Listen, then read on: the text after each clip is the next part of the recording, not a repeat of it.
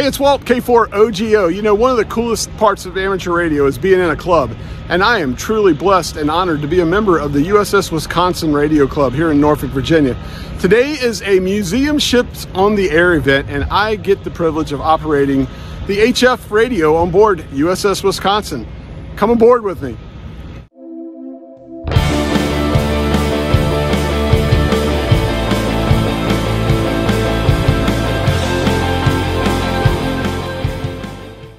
The Iowa battleship USS Wisconsin, BB 64, was commissioned in April 1944 during World War II.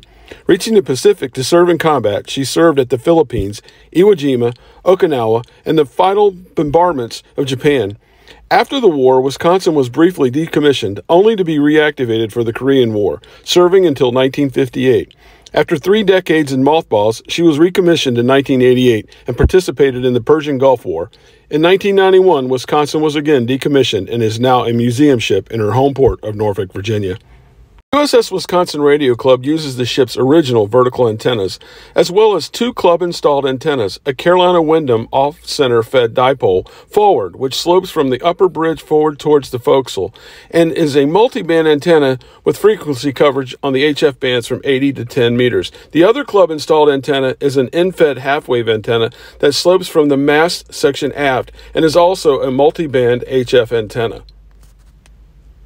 One of the first striking antenna features most people spot is the forward discone cage antenna on the forward bow of the ship.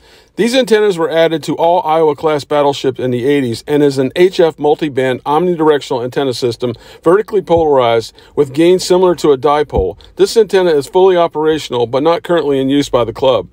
Let's go up and take a look at the club's operating setup.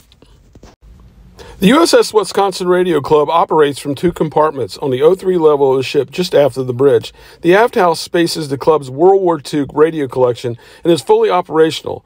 And the forward compartment houses the club's modern equipment, including two ICOM IC756 Pro 2 100 watt transceivers, one of which I will be operating today. CQ, CQ, November 4, Whiskey, India Sierra, Battleship USS Wisconsin, Museum Ships on the Air, calling CQ, November 4, Whiskey, India Sierra.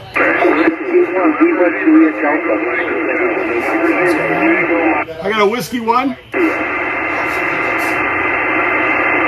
Whiskey 1. Yeah, Whiskey 1, Lima, Juliet, Delta. Whiskey 1, Lima, Juliet Delta, you're five nine on board USS Wisconsin. Roger, QSL. I will send you an SASE for a QSL. Um, you are five nine plus 20 here in New Hampshire, in New Hampshire, on retired U.S. Navy. Go ahead. Hey, thank you for your service, and you are a real five nine. You're sounding great. Thank you very much. Uh, good luck and have fun. Thank you so much. 73. This is November 4, Whiskey, India, Sierra, QRZ.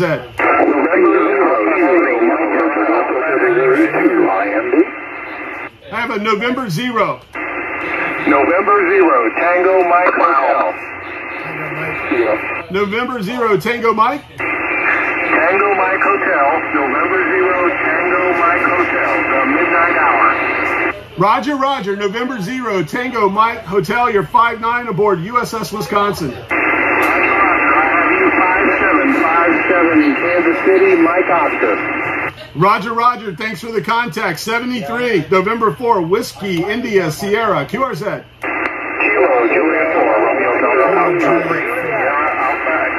you can see, operating on board the ship really creates pileups, but the real magic happens in the aft compartment, where the experienced veterans of amateur radio do the real work.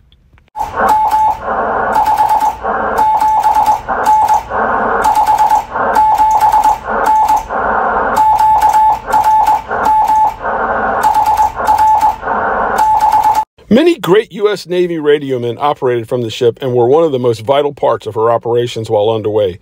The club honors and keeps the tradition of the U.S. Navy radiomen going on board and has been on, in operation since June of 2000 when the ship became a museum ship in the downtown Norfolk Harbor. If you're ever in the Norfolk, Virginia area, make sure you make a visit to the ship as she is open to the public and is a great way to spend a day while visiting.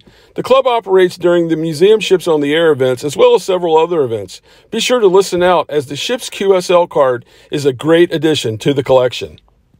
What a great day. I hope you enjoyed the video. If you did, please like and subscribe. Until next time, I'm Walt, K4OGO, 73, my friends.